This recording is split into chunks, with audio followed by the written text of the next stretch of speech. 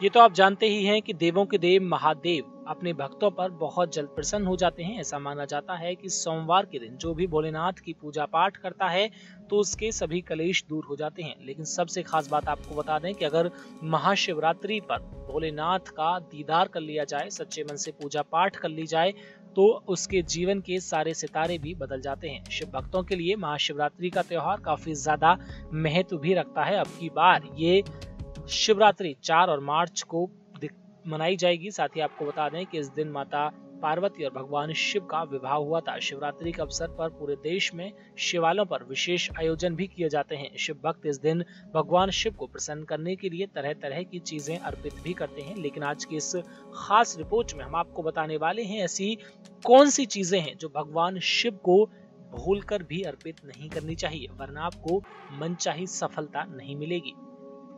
चलिए आपको बता दें, आखिर वो कौन सी चीज़ें हैं। शिवरात्रि के दिन काले कपड़े भूलकर भी नहीं पहनने चाहिए, क्योंकि काला रंग भगवान शिव को बिल्कुल भी पसंद नहीं था। इसलिए महाशिवरात्रि के दिन शिवलिंग पर भूलकर भी केतकी के फूल न चढ़ाएँ। जी हाँ साथ ही भगवान शिव की पूजा करते समय कभी भी शंख से जल अर्पित बिल्कुल ना करें। मान्यता है कि भगवान शिव की पूजा में तुलसी का प्रयोग बिल्कुल नहीं करना चाहिए।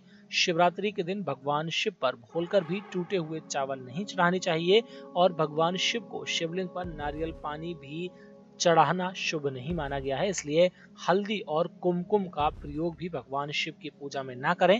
शिवलिंग पर कटे फटे बिल्व पत्र न चढ़ाएँ। वैसे तो भोलेनाथ को बिल्व पत्र काफ़ी ज़्यादा पसंद पसंद होते हैं, लेकिन आपको बता दें कि बिल्व पत्र बिल्कुल साबुत हो कटा फटा ना हो और शिवलिंग पर कभी भी यानी कि इस महाशिवरात्रि आप तिल भी ना चढ़ाएँ तो ज़्यादा अच्छा रहेगा। अगर आप इन सब बातों का पूजा में ध्यान रखते हैं तो आपको महाशिवरात्रि काफ़ी ज़्यादा शुभ फल प्रदान कराएगी और भोलेनाथ की कृपा से आपको लाभ ज़रूर होगा।